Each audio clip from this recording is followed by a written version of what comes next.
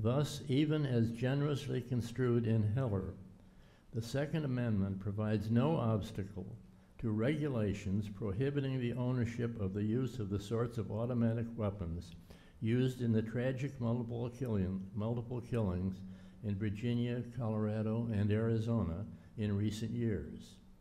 The failure of Congress to take any action to minimize the risk of similar transit tragedies in the future cannot be blamed on the court's decision in Heller.